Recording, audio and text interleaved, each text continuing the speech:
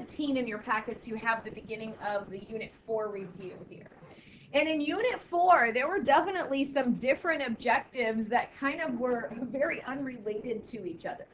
Um, the, interpret the meaning of a derivative in its context. You know, do you know that a derivative is a rate of some sort? And way back then, that's when you, you know, first were learning that. In section 4.2, we did straight line motion, or I, I'll say 4.2, but it's really unit 4.2, not chapter. Okay, I'm not talking about your textbook.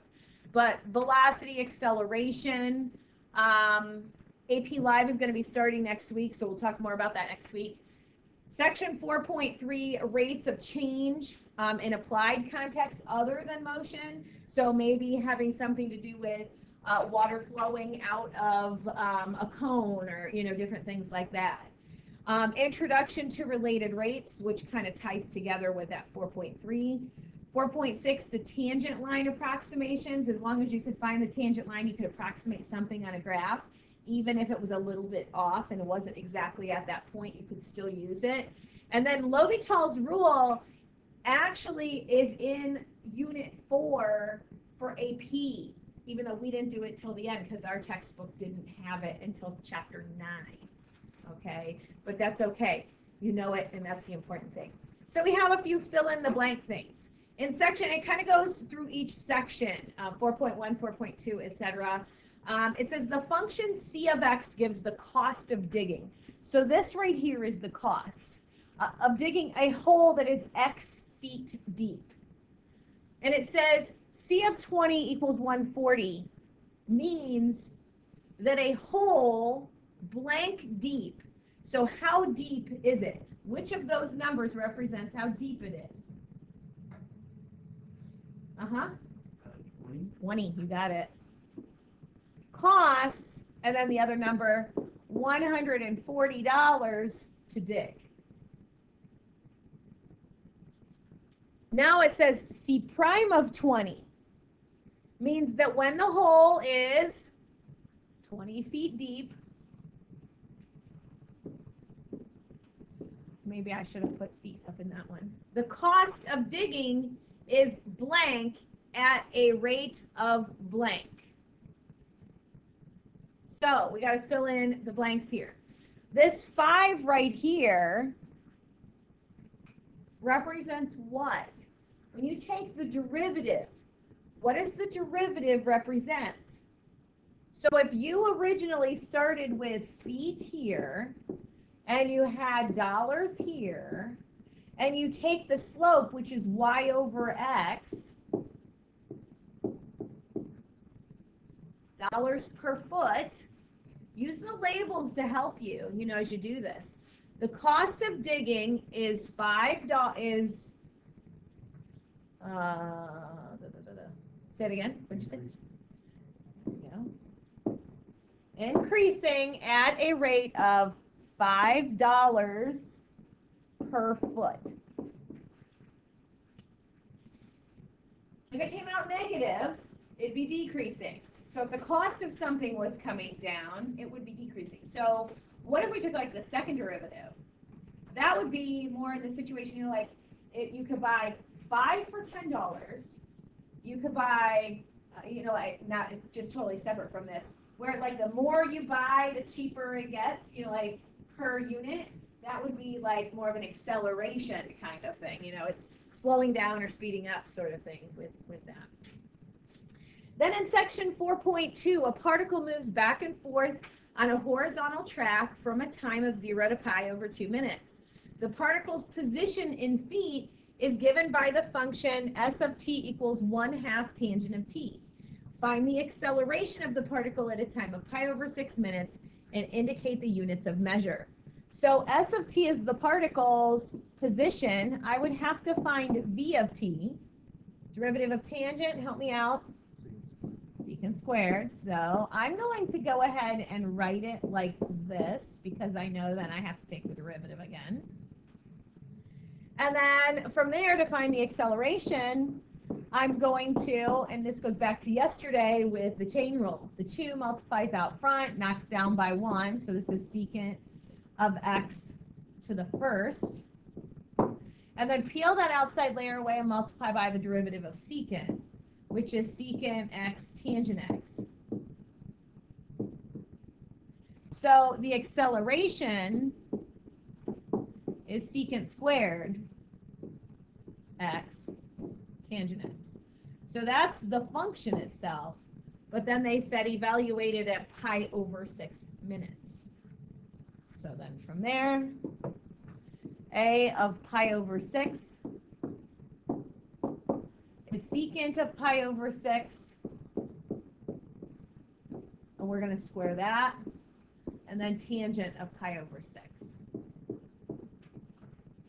On the unit circle, pi over 6 is over here. It's the point square root of 3 over 2, 1 half. Secant is the reciprocal of cosine. So that's 2 over the square root of 3, and I'm supposed to be squaring that. Tangent of pi over 6 is sine over cosine, which ends up being 1 over the square root of 3.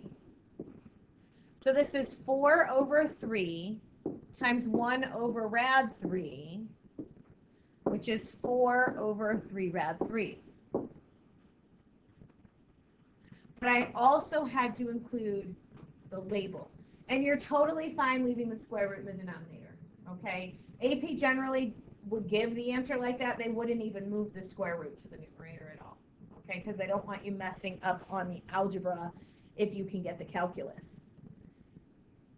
Find the acceleration at a time of pi over 6 minutes. It says, and indicate the units of measure. Now this here was talking about back and forth particles positions given by this. eh, There we go. I was looking for that word. Feet and minutes. So velocity is feet per minute. What's acceleration going to be? Feet per minute, per minute squared. Or feet per minute per minute is another way. Same thing. Okay. They're, they wouldn't give you both, but they could give you either. I see them more with feet per minute squared, you know, with what I see them writing. Okay. Section 4.3 says P of T models the size of the population at a time greater than zero. Which of the following differential equations describes linear growth in the size of the population? And which, which describes exponential growth? Okay, well, what you could do is you could take and look at each of these and kind of even think of their antiderivative. If you found the antiderivative of 200, wouldn't it be 200t plus c, right? So that's definitely linear. The next one would be p equals 200t squared over 2, which would be 100t squared plus c. That's not linear or exponential, right? That's quadratic.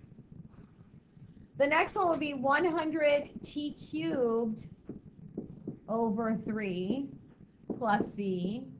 That is cubic. It's not linear or exponential. 200p would be, oh, oh, p. Hmm. Not t. So that one needs some more work. So does this one over here. See how these are t's and these are p's? So for this one here, I would really have to, I'm gonna run out of room here. Let me do that. I'll just leave them right above it, and then I'll work above it. That means I need separation of variables. It's gonna be one over p dp equals 200 dt, and find the antiderivative that way. Antiderivative of this is natural log of absolute value of p, and this is 200t plus c, of course. So if I solved for p right here, I would end up getting e to that, e to the 200t plus c, which is exponential, okay? So this one here is exponential. And then what about this guy right here? It's going to be uh, 1 over p squared equals 100 dt oh, I forgot my. So that's going to end up being negative 1 over p cubed equals 100t, which the anti, that's, that's not at all, you know, that's not exponential either, so that's neither. So these were the two right here and right here, linear and exponential. But that's how you go about it. Okay. Next one, determine dz dt if you know that z equals x y squared, z is 3, y is 1 half, dx dt is negative 2, and dy dt is 5. So I notice here that I have a z and a y, but they are not giving me an x. So I might first find x. So it's going to be z equals, so z is 3. Let's scooch this over. I was trying not to use a whole lot of space to find that. 3 equals x times 1 fourth. So 12 equals x. I'm going to also need that. So now I have x, y, and z. I have dx dt, dy dt, and now I can find dz dt as well. You know, like that's what the question is. All right, well, in order to find dz dt, I need to take and find the derivative of both sides.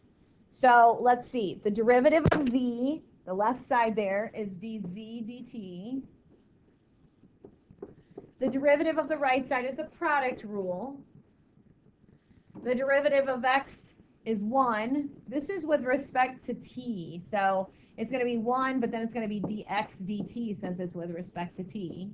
There's the derivative of the first times the second plus the first times the derivative of the second, which is 2y dy dt. And now plug everything in you know. dz dt is what we're finding.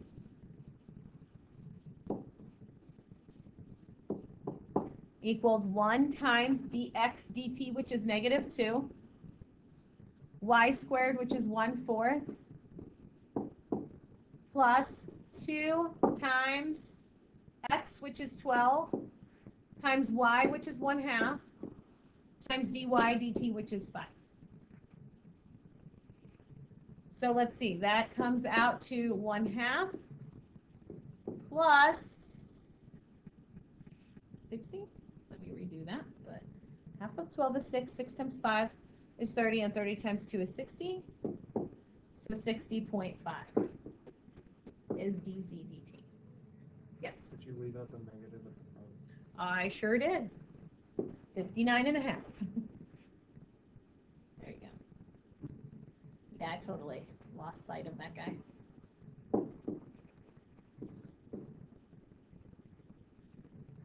Yes? two after the one fourth. Where did that come from? This two right here came from right there. I pulled it out in front of that. So you might have 12 times 2 times 1 half times 5. And it's the same result.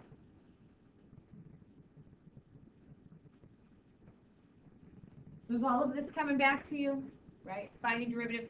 Probably the one you saw more frequently was x squared plus y squared equals z squared, right? Remember that one? And you took the derivative of each, but then you needed the dz dt, dx dt, dy dt. You know, they were trying to give you something different than that right there. Um, section 4.5, there'll be a free response, response question that we hit on that, so we'll skip that for now. Section 4.6, given g of x is a differentiable function about which little else is known other than g of negative 3 equals 2 and g prime of negative 3 equals 7. So knowing the slope and knowing a point, we can write the equation of the tangent line, right? It says use the tangent line of g of x at x equals negative 3 to approximate something close to it, which is negative 2.9. So Remember, this here is the point negative 3, 2, and the slope that was given at that same point is 7. So I have y minus, uh, 2 equals 7 times x plus 3. And you might remember we actually changed this to like a linearization. We changed the y to an L of x and just moved the 2 to the other side. 2 plus 7 times x plus 3. and then plugging the negative 2.9 in. 2 plus 7 times negative 2.9 plus 3 is 2 plus 7 times 0.1, which is 2 plus 0.7, or 2.7. And when we did that linearization, we didn't distribute it and like that because then we could do the problem. We could plug that negative 2.9 in and do it without a calculator. So we kind of left it just like that. Um, so if you distributed and changed it to point sl- or slope intercept form, um, it ended up hurting you mathematically. Like it made the problem more difficult for you. Okay, which you wouldn't think would be the case, but it, it would be. And then the last one on this page says the limit as x approaches 5 of x to the fourth minus 625 over x squared minus 25. This is one of those L'Hopital ones. When you plug the 5 in, 5 to the fourth is 625. So 625 minus 625, which is 0 on the top. And then 5 squared is 25 minus 25, which is 0 on the bottom. And just having that alone, it's L'Hopital worthy. Okay, so then we take the derivative of the top and the derivative of the bottom. Now you have two choices at this point. You can plug the 5 in and get 0 over 0 again. Oh, no, it doesn't. It doesn't give you 0 over 0, does it? It gives you 125 times 4, which is 500, over 10, which is 50. Your other option, though, what I was going to say is you could have reduced that down to 4 uh, or 2x squared. The limit as x approaches 5 of 2x squared.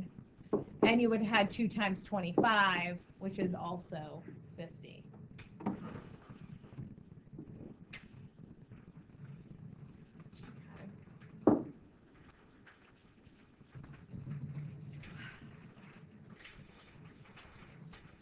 I put the little disclaimer in there again. Reviews do not cover all the material in the lessons, but will hopefully remind you of key points. To be prepared, you must study all of the packets that are given to you. Okay? And whenever I give you an extended response, make sure you're very specific in your answering. Okay? And we'll talk more about that next week. I don't know if you looked ahead to the uh, the um, the week at a glance for next week. Tuesday I have set aside for just questions. Okay? I don't have anything extra on that day. It's just questions. So start compiling your list of questions for Tuesday. Okay? Monday is just a 1 through 4. You know how we've done 1 through 4 this week? It's just a 1 through 4, work on these problems, see how you do, just all of them mixed together. Okay? Um, and again, it goes kind of through here again. Exponential derivatives. The derivative of e to the u is e to the u times u prime. a to the u is a to the u, natural log of a. But then times u prime again. Derivative of natural log of u is 1 over u, but then times u prime.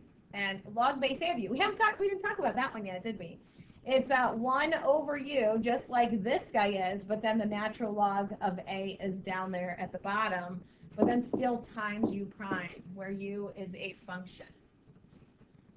Okay, this one is not used and questioned as much. There'll be like 1. Okay. So here we have e to the 4x cubed, the derivative of that. It's just saying find the derivative of each. Um, is e to the 4x cubed but then don't forget the chain rule. Derivative of 4x cubed is 12x squared.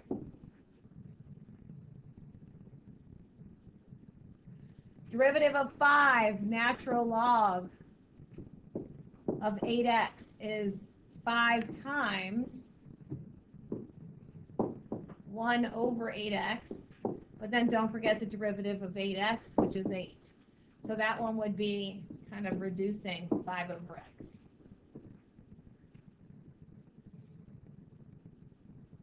If you forgot that eight, guess what? yep, AP is going to have it on there. These problems here are very much multiple choice. Okay. You're gonna like the multiple choice. You're gonna feel really good about the non-calculator multiple choice. You'll just like, give me more, give me more. Like you'll, you, by the time you get to that point, those are the ones you'll like. The ones that'll make you nervous are the two extended response calculator ones. Those are the toughest on the whole test. F of x equals e to the sine of x to the fourth. So for the derivative of that, of course, your e's, you love those. It's just e to whatever's there. But then we have the chain rule. The derivative of sine is cosine of x to the fourth. But then you have to peel that layer away and multiply by the derivative of that, which is 4x cubed. You can't um, simplify that anymore. They likely would probably take the 4x cubed out to the front in front of the e, but you know, not that you really have to rewrite it in any way. Nothing combines together. And then another natural log. Let's see, the derivative of natural log is 1 over cosine of 5x, but then don't forget the chain rule. Peel that layer away, multiply by the derivative of the inside, which is negative sine of 5x. And then peel that layer away and multiply by the derivative of that, which is 5. So that one there, they likely would have for the answer negative 5 tangent of 5x. They will probably not leave it as it is. Everybody see where I'm getting that? Right? Sine over cosine is the same thing as tangent. And then I have a negative 5 there too. I didn't, I almost forgot the negative, but it's there. Okay. And then we have one with a log right there, an log log. So that's 1 over whatever's in the parentheses, but then times the natural log of that base. But then don't forget the chain rule. Peel that outside layer away, multiply by the derivative of the inside. And of course, that simplifies to 2 over x ln 4.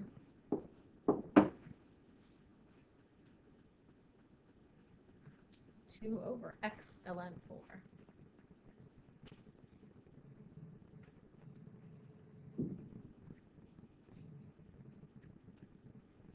And then finally on this one, f prime of x, let's see, 3 to the tangent x is going to be 3 to the tangent x, exactly as it is, times the natural log of the base.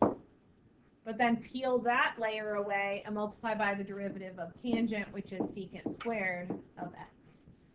And again, there's nothing you can do right there as far as simplifying it. It stays just like that. Again, hopefully, as we go over these, they're coming back to you. Okay. Many of them we've used throughout the year, but sometimes there's one that's kind of left off. You have your inverse trig functions. Do you have those? Do I need to take and write those down right now? You have them on your sheet, right? I'd rather kind of get to something else. Um, derivative of the inverse, that's the one that, you know, we had talked about yesterday um, with that. So, you know, I'll just leave that since you have that already, but we can go ahead and, and do the problems dealing with these. Okay, so the derivative of sine inverse. Sine inverse um, is 1 over the square root of 1 minus whatever squared. The whatever's whatever's in the parentheses. But then don't forget the chain rule multiplying by the 8. That is a time sign. So we end up with 8 over the square root of 1 minus 64x squared. Secant inverse, that one is also a 1 on the top, but it has an absolute value and a square root on the bottom. So the absolute value has whatever's in the parentheses. The square root has the whatever squared minus 1. So where sine and cosine have 1 minus, secant and cosecant have the whatever minus. So we have an x squared in there, and then chain rule times 2x. So I end up with 2 over absolute value of x because the x from the numerator and denominator reduce. Square root of x to the fourth minus 1. And then a cotangent inverse, well, it begins with C, so that means it has a negative one on the top, right? Cotangent's one plus whatever squared. And so we put a two x in there. And then the derivative of two x is two, so there's your chain rule. So we have negative two over one plus four x squared. Bless you.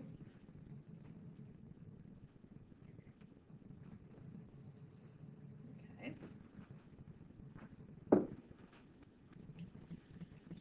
Um, here's just like we did these, you know, yesterday as well. So there was kind of some overlapping with um, Unit Three and Unit Four with the inverses. Here, F and G are inverses, is what that little line is telling us right now. So if F of six is negative one and F prime of six is three, find G of negative one and G prime of negative one. So what's G of negative one? Anybody? Six. And G prime of negative one? One third, right? It's the reciprocal. So we reviewed those yesterday, so these two should be pretty good. All right, so this next one, what is f of 7 going to be? Perfect. And f prime of 7, negative 1. So I put one positive, one negative on there to make sure you see that. I think all of them we did yesterday maybe were positive, so we needed to see a negative one there. L'Hopital's rule, L'Hopital says if you get 0 over 0, well, guess what? If you get infinity over infinity, it's the same thing. You, what you could do is just take the derivative of the top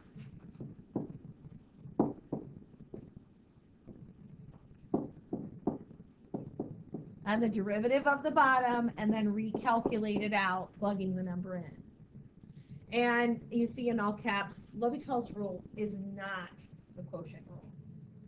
Okay, you're not doing derivative of the top times the bottom minus the top times the derivative of the bottom over the bottom squared. You're simply finding individual derivatives of each. But you first have to make sure it's L'Hopital worthy. Okay, so plugging the 2 in here, I get 0. Plugging the 2 in here, I get 4 minus 14 plus 10, which is also 0. It's L'Hopital worthy. That means I can rewrite this as 1 over 2x minus 7, and then plug the 2 in again, which is negative 1 third.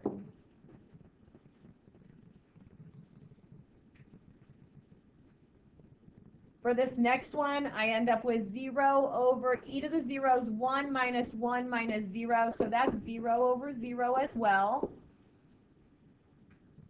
So I take the derivative of the top and bottom, which is 6x over e to the x minus 1. And now plug the 0 in. I get 0, well, let me write it over here. 0 over 1 minus 1, which again is 0 over 0. That means we do it again. Which is 6 over e to the x which is 6 over 1, which is just 6 for the answer there. 0.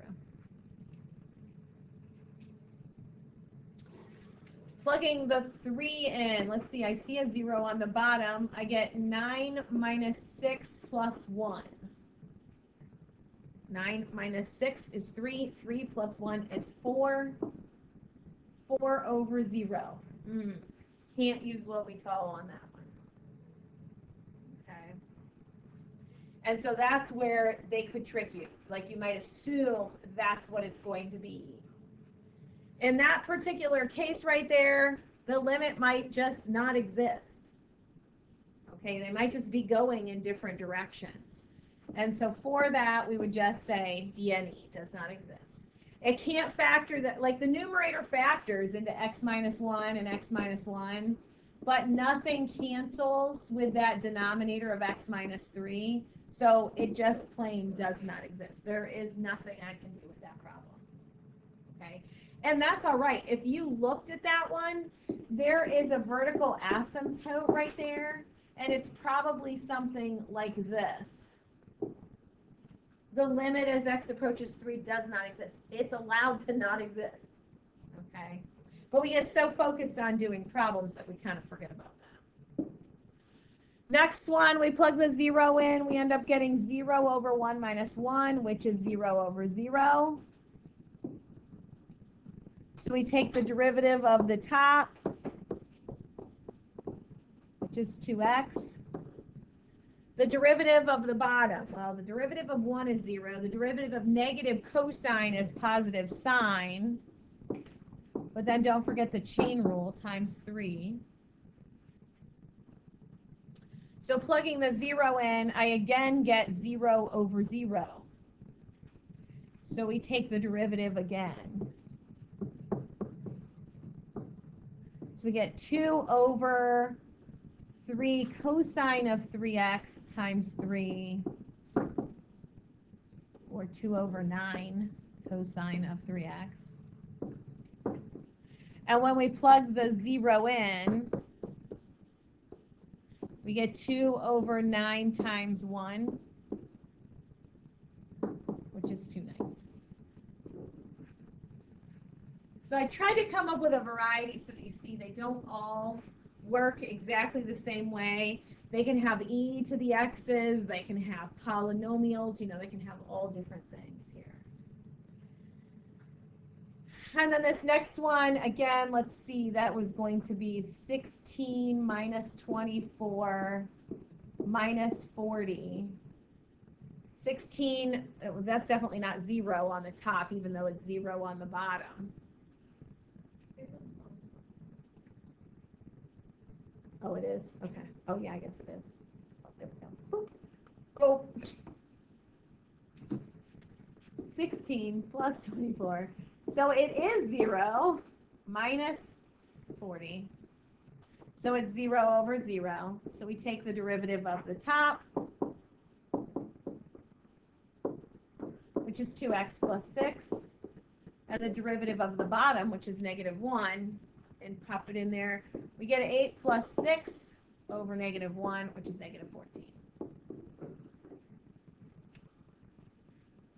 And then the last one, kind of misplaced. It doesn't ask you for the limit here, it just asks you for the derivative. Okay, so the derivative of that, that is the quotient rule, right? So we have the derivative of the top times the bottom minus the derivative of the bottom times the top divided by the bottom squared. which is 15x plus 3 minus 15x plus 10.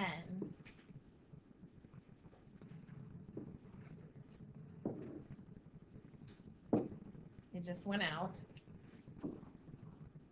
Turn it. Come back?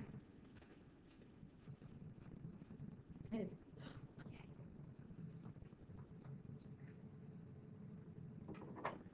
which the 15s cancel, giving you uh, 10, that was a 10 right there, right?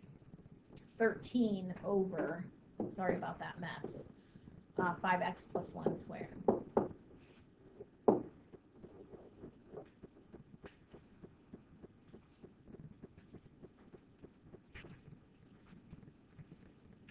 Okay. How are we on time? What time does this bell ring? 12? Okay.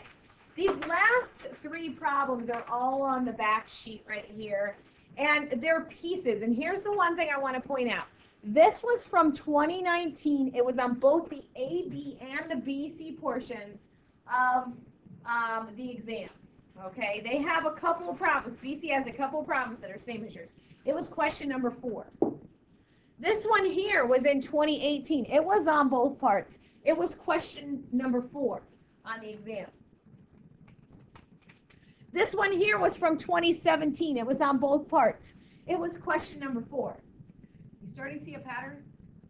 AP will have questions that are very closely the same as the questions from the previous year, and they're even the same numbers when it comes to the extended response. Okay? So question number four, you can expect to look like these right here.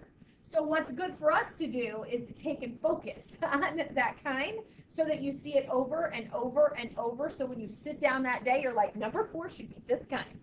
okay? We can't do that with a multiple choice, that's not the case. But we can do that with most of the extended response. They always have one that they threw us for a loop on. But the others are like boom, boom, boom, boom, boom, pretty much the same. They change the wording, okay? So truly, if I get over one part of this, the others are not your homework. We'll, we'll get them, we'll get to them next week, okay? Um, but if I get over one part, that will be good. If you decide that you want to go on and do more of these before I see you next, that's fine, but you don't have any homework this weekend. Your packet that you had, you have Monday, Tuesday, Wednesday to work on it, and you have Monday, Tuesday next week to work on it. Okay, so do not think that you have to do any calculus over the weekend. But if you want to, you certainly can. You have stuff you could work on. Okay. Here it says a, a, cylindrical barrel with a diameter of two feet. That means the radius is one foot. Collected rainwater as shown in the figure above. The water drains out through a valve that is not shown in the bottom of the barrel. This is just like your hot water heater. Your hot water heater, the water leaves through the bottom and it fills in at the top. So when, if you took a shower this morning, your hot water heater went through this same process. Okay? The rate of change of the height, that's dH dt, of the water in the barrel with respect to time is modeled by this equation. That's saying as the water's coming out, the water level's going down. Okay, you hear people say, you used all the hot water. It's because you emptied the tank. You know, you took too long of a shower, whatever it was. That's what's happening. And then it fills back in, then you have to wait for it to heat back up again. Uh, where H is measured in feet and T is measured in seconds. When I read the problem, this is exactly what I do. I underline these things so that I don't have to go back and search for them. My eyes will go right to the underlined stuff when I come back. The volume of the cylinder with a radius of r and a height of h is given by this formula. So they're giving you a formula right here. Find the rate of change of volume. This is asking me to find dV, right? So if volume is pi r squared h, it's asking me to find dV. It's probably going to be dt, dV dt, okay? But they might be giving me something else. Uh, with respect to time, when the height of the water is four feet, indicate units of measure. So this is when the height is four feet. Is the height always four feet? No. So I cannot just plug the four into this right here. Is the radius, no matter where that height is, always 1? Yes. That is what I can plug into that formula. Okay? But if it was a cone, would the radius always be the same? No. So I'd have to do that differently. So it depends on the problem that's given. We do know that R is 1. So that means we can say V equals pi H. I can change the formula to that. So dv dt then is the derivative of this right here, which would be pi, derivative of h is 1, but then dh dt.